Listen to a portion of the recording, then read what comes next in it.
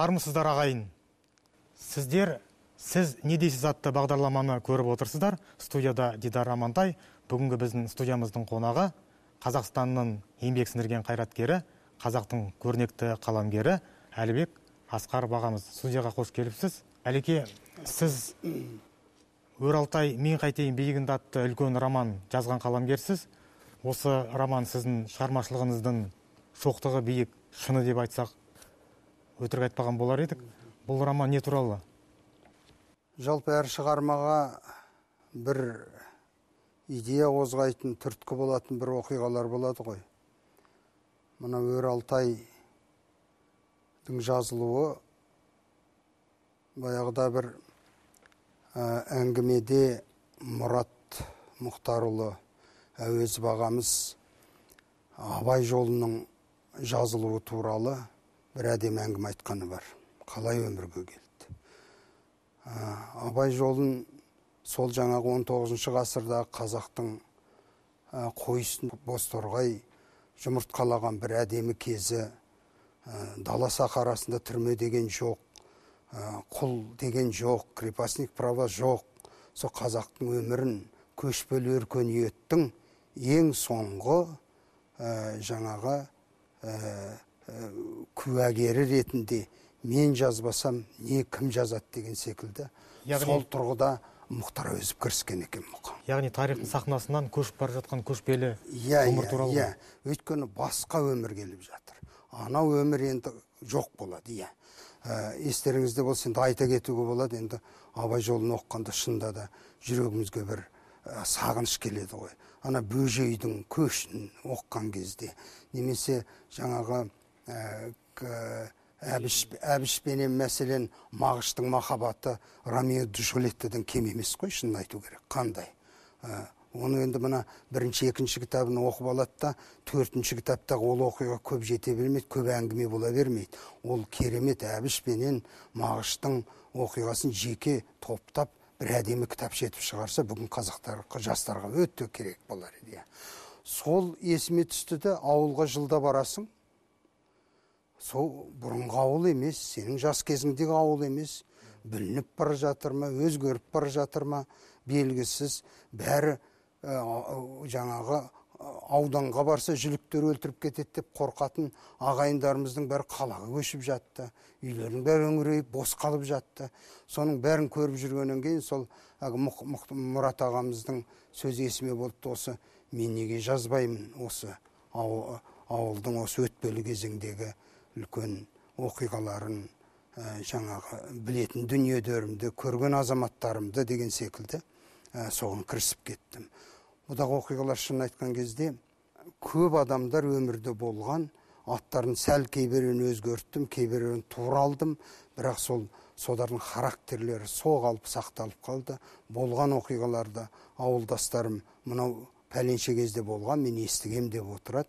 Сондықтан сол мен ойлаймын сол өтпелі кезең анау жаңағы қайта құру деп айтып жүрді ғой. Сол кездегі ауылдың басына түскен үлкен қиындықтар трагедиялар оны соны мен енді мүмкіндігінше жазып шықтым деп ойлаймын. Бірақ соның бәрін әлгі журнализмнің жаңағы тура айтатын сөзімен емес ақырын астармен әзілмен қазақтың үлкен әдемі сөйтіп жеткізген түріміз бар. Яғни сіз әлеке дәстүрлі жазу иә. тәсілінің өкілісіз. Әдебиет тарихын шартты түрде үш кезеңге бөлуге болады. Классикалық кезең модернистік кезең яғни үшіншісі постмодернистік кезең. Осы үшеуінің сіз бірінші кезеңіндесіз ғой. Өкіліміз. өкілісіз. Мен айтайын дегенім мынадай сөз бар әдебиет жазба әдебиеті әріптен басталады деп. Яғни сөйлемнің қалай түсуі қалай жазылуы қысқа ма ұзын ба ә, абзацтардың қалай келуі ол да жазу стилін, құра, стилін құрайды. Ә, сіздің ойыңызша бүгінгі кезде дәстүрлі әдебиет сонымен қатар модернистік әдебиет қазақ әдебиетінде бар. Осы екеуі жарыса қатар өмір сүріп келе жатыр. Ә, бірақ қай әдебиет сізге көбірек ықпал етті? Мен енді модернистік деген ә, ондай дүниелерге өзі көбінде мода секілді өтпелі дүние секілді қараймын. Ә, бір жерден бір ә, оқығаным бар фолкнерден бір журналист сұраған ғой сіз осы америкадағы эксенциализмнің сол баяғы бастауында тұрған азамат қаламгердің бірісіз дегенде ол кісі сұрапты.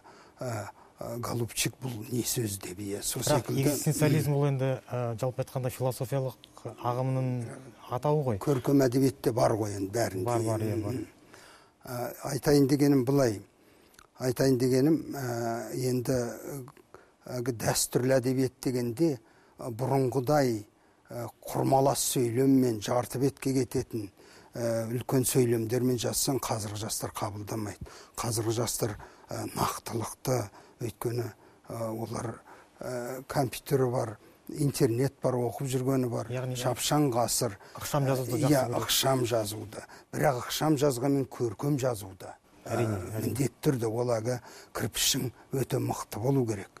Ол әлгі қазақтар ә, біз ә, қаламгерлердің арасында бар қазақтың тілі деген секілді. Олай емес көркем тілмен жазу керек. Өйткені мен қазіргі жастарға арнағым келді. Жастар жеңіл оқысын деймін. Соның бір ә, несін көріп те жүрмін өзім. Ә, нәтижесін. Орысша оқып жүрген азаматтар өзім достарым үлкен қызметтегі жігіттер ә, солар мені менің әлгі кітаптарымды шығармаларымды оқыған кезде түсініп шығатын болды. Солар айтады оқып шықтық рахмет деп сіз алтайға байланысты көп жаздыңыз туралы бірақ десек те аңшылық туралы да қалам тербеген қазақ әдебиетіндегі бірден бір өкілсіз. Ол туралы бірнеше бір әңгімелеріңіз егемен қазақстанға да жарияланды. Иә. Ә, аңшылық туралы жеке кітап та шығардыңыз сол тақырыптағы туындыларыңыздың ә, жинап. Жалпы неге осы тақырыпқа қызығасыз? Енді енді аңшылық туралы хемингуэй де жазған өзіңізге белгілі ғой. Иә ол хемингуейдің сол аңшылық туралысын мен оқымаппын. Кейін оқыдым. Ә, сенің жазғандарың сафари жанрына келеді деген кезде оны жазған ә, жаңағы хемингуэй басында тұрды деген кезде мен енді ол хемингуэй кейін оқыдым. Ә, зеленый холм африки деген иә. Ол деректі прозасы ғой. деректі проза. Бірақ ана көркем, прозадан әлгі недолгое счастье френсиса макамбера деген оқығам жоқ оқығам жоқ иә көркем прозаны оқыдық қой бірақ сафари жанрын айтамын сафари дегенді иә енді ол мен сафари деген ол кезде жанрын да білмеймін оны сауытбек әбдірахманов қой ойлап тауып жүрген иә. Ә, бір ә, ә, көккөл деген жерден басталды. Біздің жақта көккөл дегенді біреу білет біреу білмейді. Бірақ естиміз осы. Анау алыста баяғыда бір вольфрам ә, кенішін ә, алған бір алыста бір не болған қиын жағдай болған соғыс кезінде. Ол вольфрам деген жаңа танкінің бронет бронин мықтаған екен онсыз болмайды екен тау деген секілді. Сосын бірде ой келді осы көккөл қайда? Іздеп бармаймыз ба? Біреулер айтты үйлері бар андай мындай деген секілді иә. Тіпті таудың басында машина да тұр деді. Одан ары қызыға түстік. Сөйтіп енді бірер жыл уақыт болмады да дайындалып бір он, он алты атпенен ә, сол жаққа барып қайттық. Сосын енді ол көккөл туралы жазайын деп те ойлағам жоқ. Кейін келгеннен кейін бір сағыныш пайда болды таудың басында қалған бір ауыл. Қарлы шыңдардың үш мың метр биіктікте біз 18 июльде бардық шілдеде. Сол кезде боран тұрды. Енді ол таудың басында ғой боран. Таудың басында боран тұрды. Біз барған аяқ төменде мәселен 30 градус ыстық. Иә. Ана жерде боран. Сосын ойладым ал қаңтарда не болды? Қаңтарда қалай? Сосын ел жұрттан сұрай бастасам әлгі ә, шахтерлардың бәрі өліп қапты силикоз деген аурумен ә, солардың кемпірлері ә, бір көз, көз көрген содар қалған екен біразын адақтап шығып әлгідей материалдар жинап қой мынау қазақ керек дүние екен. Бұл да қазақтың бір ауыр тағдырының бірі екен деп жазғаным бар. А, сол сол ары қарай сол болған келесі жылдан кейін мұзтауға шықтық мәселен иә мұзтау иә альпинизм деген сөз иә. Сосын оны да жаздым. Тағы бір ел жер аралап тау тасты жүргеннен кейін ә, сол тағы екі повесть деректі повесть ел мен жер туралы ә, өмірге келді. Сөйтіп үлкен бір кітап болды. Енді мына оның өзі жұрт енді демалысын алса шетелге кетіп жатады ғой шапқылап. Мен сол асаймын сөйім да асынам да сол елге барам да бір үлкен достарымды алып алам сол жердегі. Бір көлдің жағасына палатка тігіп алып ә, бір қойымызды байлап қойып балығымызды аулап сол жерде жатамыз. Телефон жоқ газет оқымайсың миың нағыз тазаратын жер. Оқыста аю шаппаса қалғанның бәрі амандық иә. Мына иосиф бродский мынадай пікір айтқан екен. Модернизм дегеніміз классиканы ықшамдау деп. Сіздің жаңағы айтқан тақыр анықтамаңызға келіп отыр ғой. Енді мен өзі о баста суретшімін ғой өзі әдебиеттің теориясын көп біле бермеймін. Орыс ә, жаңағы өнерінде көркем өнерінде. Крамской мен заболоцкий бастаған передвижниктер деген болған. Есіңізде ғой? Анау классический тек дінге байланыстына әбден одарға зәрезеп болған ғой. Содан кейін бәрін тастап академизмнің қасқан стилін тастап жаңа халыққа бұқараға жақын боламыз деп. Француз живописьтері біз далаға шығамыз пленерге шығамыз. Күннің сәулесін жазамыз. Жарқыраған мынау не жаңағы дүниені жазамыз деп олар импрессионисттер болып шықты. Көрдіңіздер ме? Сондай өзгерістерді мен енді қабылдаймын енді. Бірақ енді әдебиетте білмеймін енді әдебиет. Бірақ сіздікі классикалықтан гөрі модернистік үлгіге сәл келетін сияқты көрінеді маған. Мүмкін мүмкін. Ал кітаптарыңызды өзіңіз безендіресіз бе? Иә өзім өзім ә, безендіргенде кейде қолым тимей жатса мен ә, былайғы макеті рыба дейді ғой соны жасап беремін осылай болса осылай болса деп иә. Міне мына кітапты мәселен міне өзім бастан аяқ міне. Безендіріп шықтыңыз. Иә иә андағы шрифттарына дейін. А, одан кейін сіз әрине зиялы қауым өкілісіз. Иә. Ә, әрі суретші әрі қаламгер. Сонымен қатар әкімшілік қызметте де болдыңыз. Екеуін қатар алып, ата- қатар алып жүрдіңіз. Жиырма екі жыл мемлекеттік қызметте болыппыз иә. Оған өкінбейсіз бе? Жоқ өкінбейміз енді. Барлық уақытыңызды алған жоқ па? Мүмкін мен білемін сіз кітаптарыңызды соңғы кездері шет тілдеріне аудара бастадыңыз. Шет тіл болғанда орысша. Москва аударды. Академик пряхин бір кітабымды аударып берді. Бастан аяқ ол иә шығарам деп отыр. Басқа енді осында аудармашылар бар солар аударды басқа білмеймін енді. Енді батыста қазір газеттерді өзіңіз білесіз сатып алмайды. Оларды кафеде вокзалда тегін жатады үстелдің үстінде сондан алып оқиды. Әдебиет кітаптарды әдеби кітаптарда ертең сондай дәрежеге жетіп жетпей ме? Мен мынау минскіде бір комиссия болды. Ә, соны бір екі жыл басқаруға жібергені бар. Жаңағы осы кітап шаруашылық полиграфия дейді соны ә, күллі снг елдерінің иә. Сол кезде қайран қалғаным минскінің халқы әрбір сенбі сайын кітап жәрмеңкесін өткізіп тұрады екен. Үлкен өздерінің базары бар. Сол жерде мен кезекке тұрдым кітапқа. Бір әлгі великий музей мира деген мынандай үлкен елу мыңдық кітаптар бар ғой соны жинап жүруші едім өзім болған елдерде. Сол жерде уфицеме питти анау әлгі флоренциядағы музей туралы кітап тұрған соған кезекке тұру үшін ба- олар басқа кітаптарды алып жатты. Мен сол жерде жарты сағат кезекке тұрдым. А ол ана мемлекеттің сол кітаптарды сол елге аз әкелуінен емес пе? Жоқ олай емес. Ол жаңағы ол мен алатын альбомға ғана тұрған жоқ. Кітап жәрмеңкесі. Ол деген сөз белорус халқы кітап оқиды деген сөз. Сол секілді шынын айту керек. Москвада ә, петербургта оқиды. Анау ә, не жер астындағы ә, метрода кетіп бара жатып бәрі оқып бара жатады. Бір бір кітапты ұстап иә. Бірақ ә, бізде ондай жоқ. бірақ кітапты оқудың негізгі мақсаты не? Енді былай ғой. Қазір суицид деп жатады өмірден торығады әсіресе жастар осы э, керемет э, қиындық өздері э, сондай естіп жүреміз ғой иә? Ал енді мынаны қара. Кітап оқыған соның ішінде көркем кітап оқыған адам қашанда рухани байлық дегенді түсіне бермейміз. Ол ар жағында э, үлкен әлемі бар. Ол қандай да бір дүниеден тығырықтан э, кетер э, шығар жолды біледі ол. Күллі. Ол көркем әдебиеттің әсіресе жастарға берері өте зор. Осы жағын ойлануымыз керек. Енді екіншіден мәселен ә, біз әлгі жаңағы ғылыми әдебиет дейміз оқулық әдебиет дейміз ғылыми оқулық әдебиеттер мимен келеді миға сіңеді ал көркем әдебиет жүрекке жүрек арқылы миға барады жүрек арқылы тарайды қанға тарайды. Ә, мәселен ә, былай ә, айтайықшы. Қай қай қыз келіншек мәселен квантовый механика туралы оқып отырып көзіне жас алып жылап отырғанын көрдіңіз. Олай емес. Ал ана альбионның ә, жаңағы жазушыларының ә, ә, жаңағы әдемі ә, мелодрамадарын оқып отырған кезде немесе маргарет митчеллді оқып отырған кезде көздері мөлт мөлт етіп отырады ол деген сөз көркем әдебиет жүрекке жетіп жатыр деген сөз.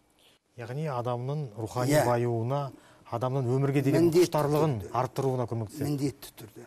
Қай бір дүниеден жол табуға көмектеседі. А, сіз жақсы көретін жазушылар? Мен енді шынын айтайын ә, бұрын көп білмеуші едім кейінгі он жылда юкио мисиманың барлық дүниесін оқыдым иә. атақты самурай. Иә самурай өзін өзі өлтірген иә. Сосын ясунари кавабата тағы да япон ғой енді. Соны оқысам бір түрлі енді өзі ол жерде дамыған иә не де жоқ. Бір бір сабыр қалыптағы әдебиет теориясы секілді жоғары шығып қайта кетіп әлгі ондай жоқ иә. Ананта мурти. Осы осы жерде бір дүние шығады. Айтайын дегенім. Ұлттық әдебиет қандай болу керек деген кезде ұлттық әдебиет. Біз біздің қаламгерлер менің пікірім енді әдебиет зерттеушілер өздері қарсы бола жатар. Мынау тарих ғылымы тарих ғылымы әлі күнге дейін европоцентризмнің ықпалында келе жатыр ғой. Біздің қазақ әдебиеті де сол европоцентризм повесть дейді роман дейді шарықтау шегі болу керек аяқталу болу керек дейді. Сіз өте модернистік нәрселерді айтып отырсыз? Жоқ білмеймін енді. Ал біздің қазақ прозасының арғы тегі фольклор ғой. Өте дұрыс айтасыз. Ауыз әдебиеті. Ауыз әдебиет деген баяндау. Оның өзіндік заңдылықтары Иә, бар ішкі иә, даму иә. заңдылықтары бар. Қазір баяндаумен бірдеңке жазсаң баяндауды бәрі оқиды. Бірақ әдебиет сыншылары айтады сурет жоқ мұнда картина жоқ деп бытчтың шығарады иә. Ал енді осы ә, неге жаңағы айтайын дегенім ұлттық әдебиеттің үлгілері қайсы деген кезде мен айтар едім ә, анантамурти индияның жаңағы самскарасы жаңағы ясунари кавабата тіпті габриэл маркестің сто лет одиночества ешкіммен шатастырып алмайсың ғой мәселен жүз жылғы жалғыздықта қалай? Иә. Бастан аяқ баяндау. Кеңес юсупов аударды ғой. Иә бастан аяқ баяндау ол. Ал ә, ясунари кавабата әдемі бір өлең айтып отырғандай бірақ деңгейде алып шығады. Бітті. Өте мықты жа- қаламгер иә. Соны ойлаймын ә, сол енді ә, бізді қазақ қаламгерлерді сол европоцентризмні мына миымызда улап бірақ оның тастаған. ішінде біз ә, сізде мынандай ой болмай ма? Жалпы біз әлем әдебиетіне оның ішінде еуропа әдебиетіне жалпы әлем әдебиетіне орыс әдебиеттану ғылымының тұрғысынан қараймыз мен енді европоцентризм деген сол ғой. Орыстар да сол европоцентризмнің ықпалында ғой мәселен. Ал енді ә, жаңағы ә, әлем әдебиетіне онда қосылмай қаласың деген сөз болмау керек. Мәселен жаңағы ананта муртилер ясунарилер қосылып жатыр ғой әлем әдебиетінің үлкен дүниесі. Неғұрлым ұлттық болған сайын соғұрлым үлкен жаңалық қой әлем әдебиеті үшін? Иә иә ұлттық болған сайын иә. Жа- не? Норвегияның бір жас жазушысы ғой қырық тоғызыншы жылғы шыққан ә, ерлен лу деген. Ә, ол да керемет бір. Енді норвегияның енді мықтысы ә, кнут гамсун ғой енді. Оның қай дүниесін оқысаң да енді бір түрлі ә, біздің қазаққа келетін секілді бір өте бір әдемі дүниелер ғой. Ал мынау міне ясунари ясунари емес жаңағы кім еді? Ерлен лу. Тура қазіргі жастарға қазіргі жастардың түсінігіне арнап соған лайықтап жазады. Жаңағы японияның мураками секілді. Мураками екеу ғой анау харуки муракамиді айтамын көрдіңіздер ме? Жалпы жапон әдебиетіне деген махаббатыңыз үлкен екен негізі ол өте жақсы нәрсе. Біздің кейбір әңгімелеріміз қазақ әдебиеті оның ішінде қалихан ысқақтың шығармашылығында ақтоқым деген әңгіме бар. Ол да сол жапондардың жаңағы сіз айтқан ясунари кавабатаның жазу стиліне келеді. Ол әңгімені ә, есіңізде шығар.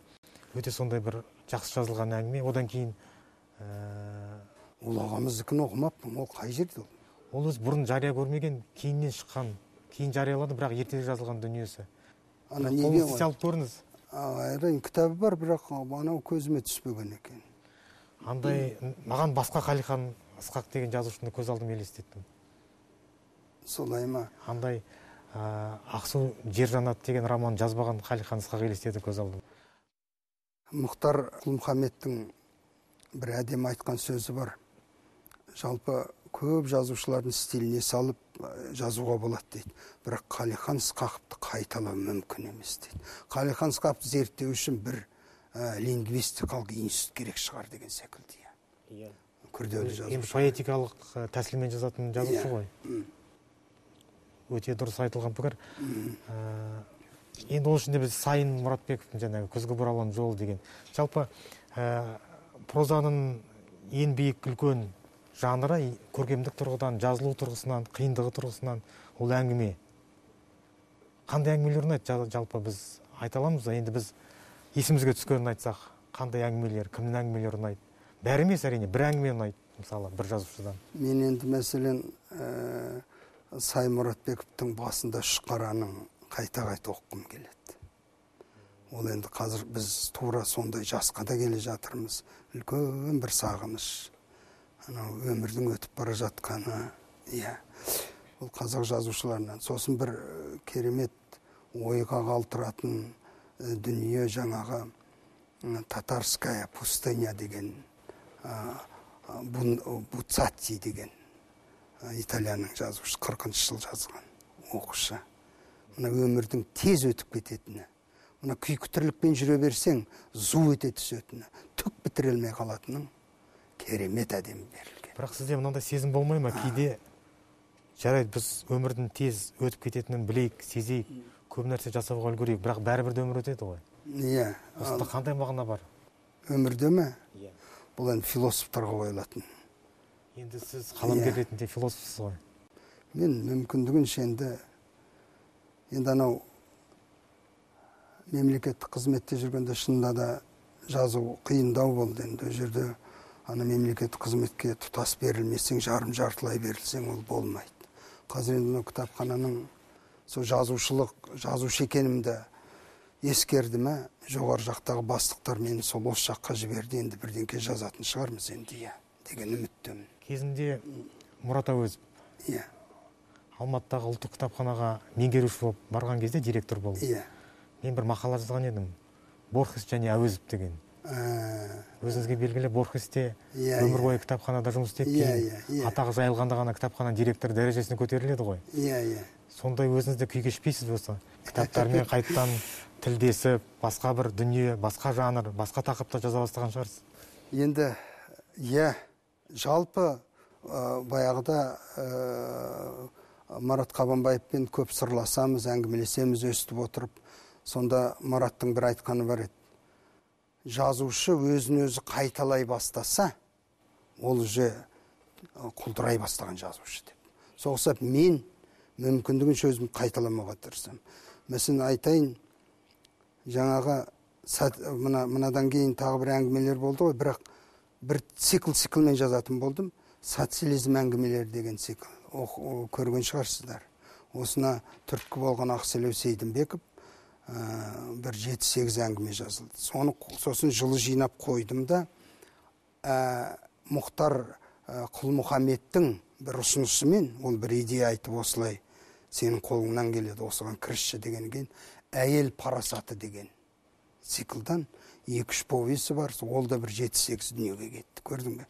Енді соның бәрін қойып жылы жауып қойып бір әдемі бұл а, жастар оқысын дедім да қазір интур а, интур аңшы хикаялар деген аңшылардың тау таста жүргендегі бастан кешкен хикаяларын жазып жатырмын. Оның біреуі шықты біраз жерде иә. Екі үшеуі қазір дайын тұр енді жазып шығатын шығармын. Яғни Сөйтіп- жеке кітап болып шығады ғой. Шығады иә. Кітаптар енді шығып жатыр ғой бәрі оған нетпейміз. Мен өзі бір жазып алған дүниемді тастай саламын да көптен кейін қайта қараймын иә. Әңгіме сол мүмкіндігінде қайталамау керек. Мүмкіндігінше өсу ме әйтеуір бірақ анаған ұқсамайтын дүниелер жазу керек.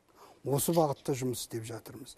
Сосын жуықта осыдан бір жарты жыл бұрын викентий вересаевтың невыдуманные рассказы деген кітабы қолыма түсіп яғни бұрқыратып оқып шықтым.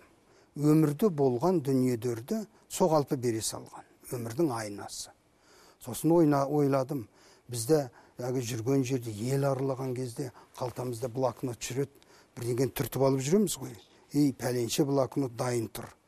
Соларды қарап отырсам әгдер өмірде алынған дүниелер қоспа керек жоқ аты жөні жазылған. Бас аяғын дұрыстап анау қысқарған сөйлемдеріңді былай дұрыстап берсең соны қазір сол кіріссем кәдімгі бір кітап болып қалды. бірақ ол деректі проза ғой қанша деректі проза бірақ өмірде болған адамдар көп өмірден өтіп кеткен баяғыда сексенінші жыл жетпісінші жылдары тоқсаныншы жылдары жазылған дүниелер ғой. Бірақ сол невыдуманный рассказ деген осы. Өйткені тағы қосарым ә, мен айтам қай шығарманы жазсаң да мәселен қай шығарманы жазсаң да. Мен өз басым краеугольный камень деген секілді ә, краеугольный камень деп әлгі үй салған кезде төрт жағына төрт не болады ғой? Соның әйтеуір біреуі ме екеуі ме өмірде болған адамды кейіпкерді соны ә, соғалпы соны темір қазық етіп ұстап отырамын. Содан кейін кейіпкерді ойлап тап ә, былай ойыңнан қос иә саусағын сорып отырып қандай баяғы фантазияға барсаң да өзің біл. Бірақ анадар сенің темір қазығың болу керек өмірде.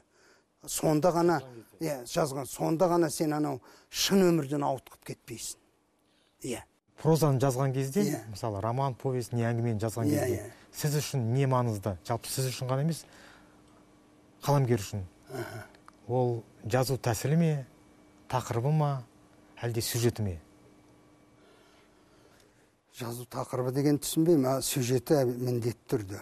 Ал біріншісі қалай еді? Ә, жазу тәсілі дедім. Тәсіл жоқ тәсіл.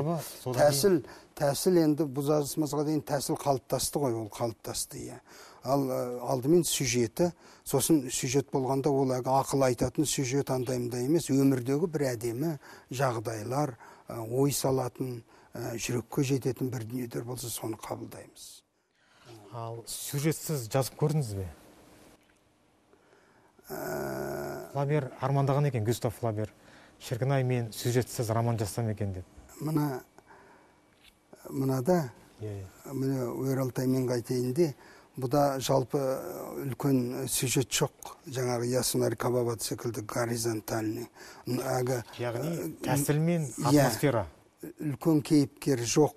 Иә басты кейіпкер дейді не жаңағы жағымсыз кейіпкер оның бәрі жоқ. Бір линияда кеткен дүние. Сюжет жоқ. Ауылдың әшейін бүлкілдеген өмірі. Бітті. Өйткені мысалы кейбір әңгімелерде поэтикалық проза деген бар.